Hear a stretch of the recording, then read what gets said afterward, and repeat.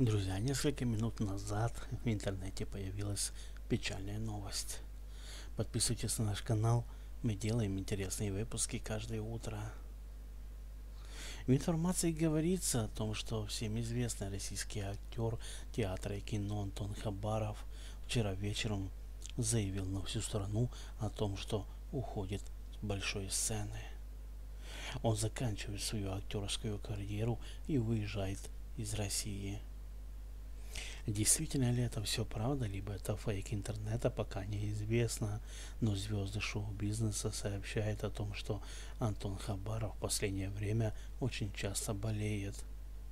Что произошло в жизни нашего актера, мы сможем вам рассказать уже завтра рано утром в нашем новом выпуске, друзья. На данный момент очень мало информации, мы собираем все вместе для того, чтобы завтра в новом выпуске рассказать обо всем вам. Будьте всегда с нами. До скорой встречи на нашем канале.